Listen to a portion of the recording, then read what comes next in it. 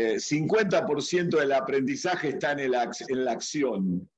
en el, en el, desafiarse, en el salir de la zona de confort, el, el aprender experimentando eh, en, en, el trabajo, en el proyecto, en lo que tengas, ¿no?